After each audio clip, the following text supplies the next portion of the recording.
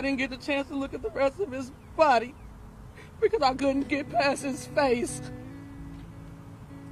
The only thing I could see was his teeth. That's how I knew it was my son.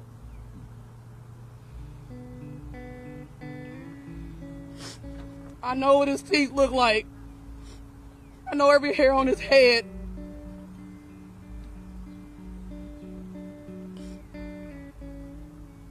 Nobody wants to see their kid look like that.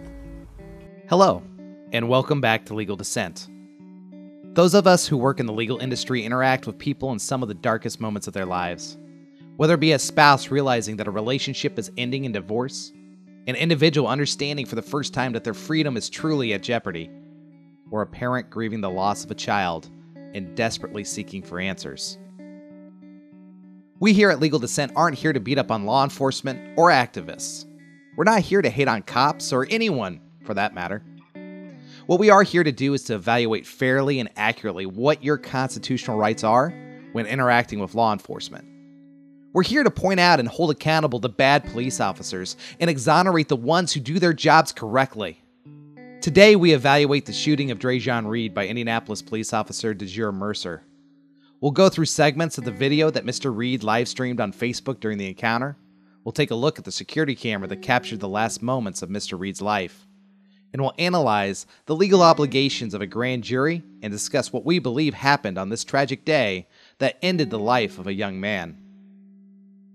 We'll discuss when are officers legally allowed to use lethal force and what is the burden of proof for a grand jury to decide on if they should press charges or not. We must warn you that this video will contain graphic language and images and topics that are intended for a mature audience only. The Indy Star reported that the vehicle pursuit initiated when IMPD Deputy Chief Kendale Adams allegedly witnessed Mr. Reed driving recklessly, and according to police, Mr. Reed almost struck other motorists. Deputy Chief Adams was joined in the pursuit by Chief Randal Taylor. Shortly into the chase, Mr. Reed began live streaming the encounter on Facebook. Hey, hey, hey, hey, hey, hey, hey, but look, look, look, look, look, look, look. Hey, if y'all want to bail me out, you feel me? I got about, I got about two bands, you feel me? and then, you feel me? Whatever y'all put with this shit, you feel me? Oh, this is fun though. But like, man, I just can't, I can't go back to jail, y'all. Y'all know, everybody know me. I do not like jail. So you feel me?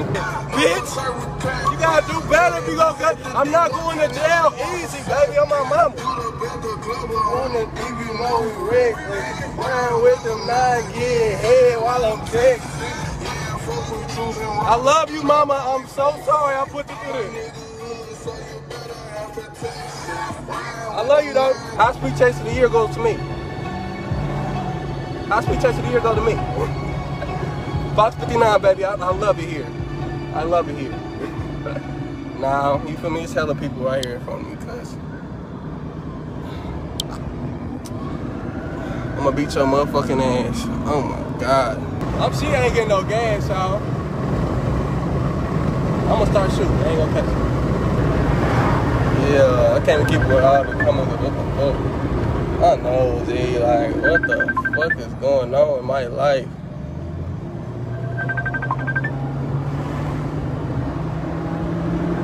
Uh-oh, I almost lost him, y'all. I almost got rid of his ass. Damn, never, never mind. I I, I thought I had his ass. I thought I was doing good.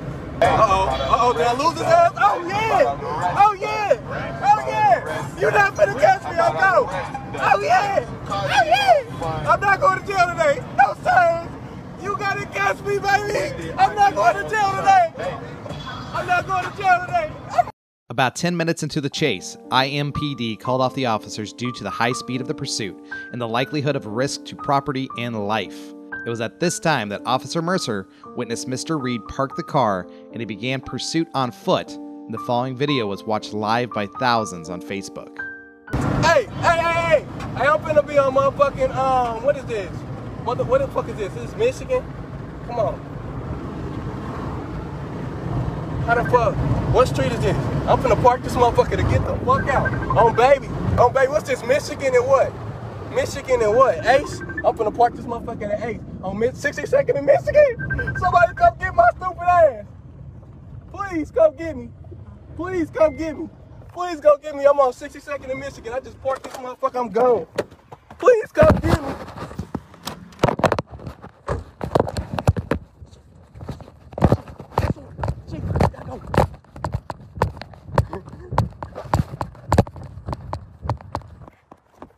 Oh. What you say?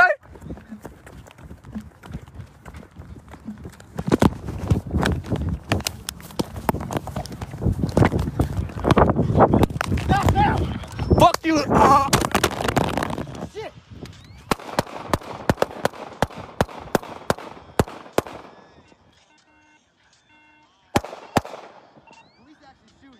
Mr. Reed was dead, shot and killed by Officer Mercer.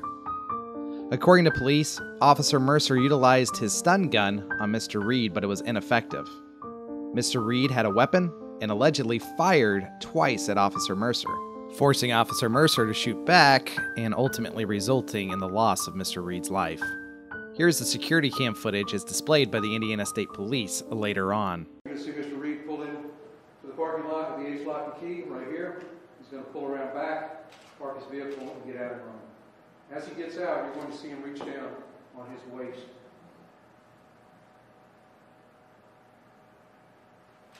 So Officer Mercer pulling in.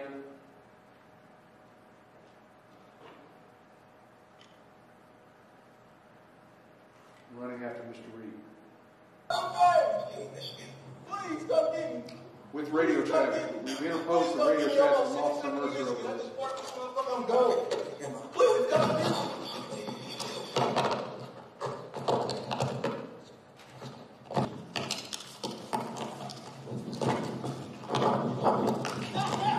Fuck you! Ah.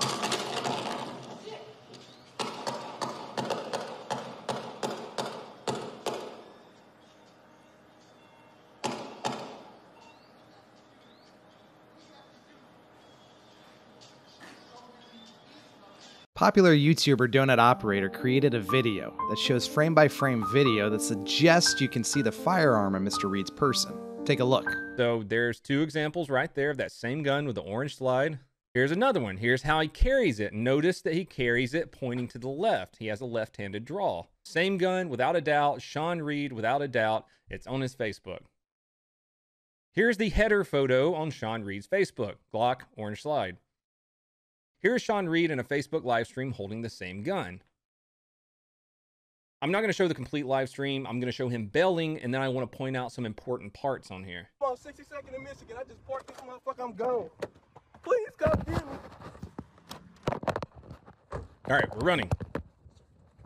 Just he just bailed out of the car. He's taking off running away from police right now. I think the phone's in his pocket at this point. He pulls it back out here in a second. Very important stuff.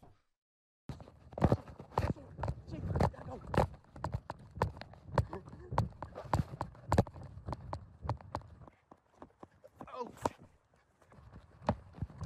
What you say?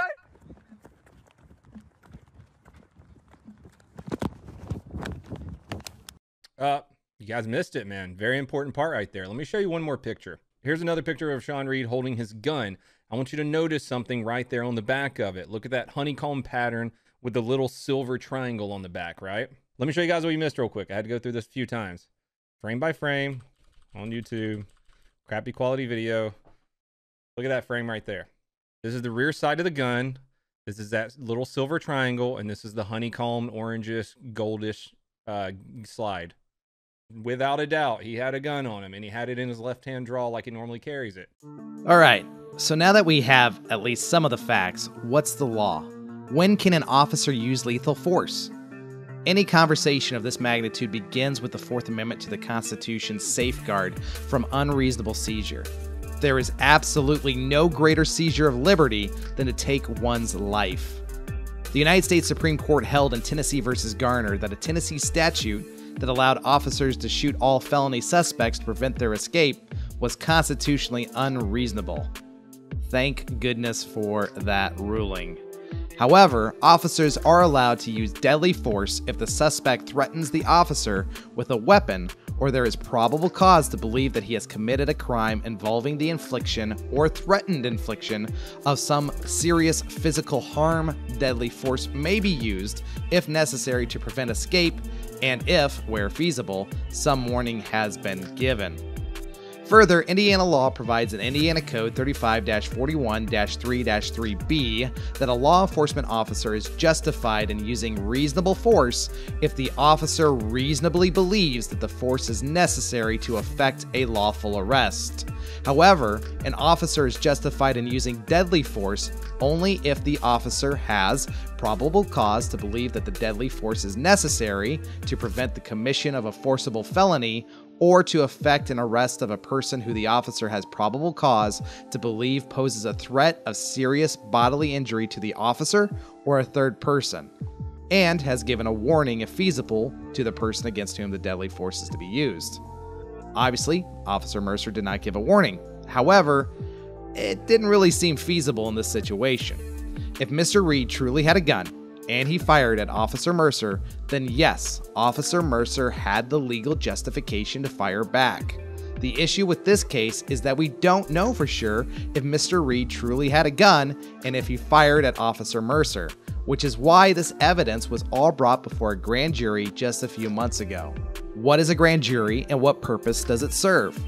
A grand jury is called into play when the prosecutor wants to evaluate if there's enough evidence to even charge an individual of a crime. There's no defense attorney, only the prosecutor, the witnesses, and a six person jury. The prosecutor presents all of the evidence they have in order to convict, and the grand jury then decides if that's enough for the prosecutor to bring forth charges or not. The rules of evidence are significantly relaxed and allow the prosecutor to bring in way more evidence than normally allowed in a jury trial. Basically, it's set up for the prosecutor to win. Further, to convict an individual at a jury trial, the jury must be convinced beyond a reasonable doubt that the individual is guilty of the crime alleged. Whereas, in a grand jury, they only need to find probable cause to force an indictment. Probable cause is a much lower burden than beyond a reasonable doubt.